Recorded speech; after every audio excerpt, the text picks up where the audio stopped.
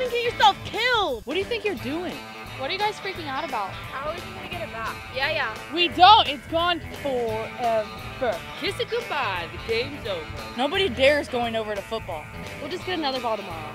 We'll just get another ball tomorrow. Wait, why not? But wait, it's my mom's ball and it's signed by someone named Sam Martyr. The three-time All-American? The Ohio State Hall of Famer. The Ohio State Hall of Famer. How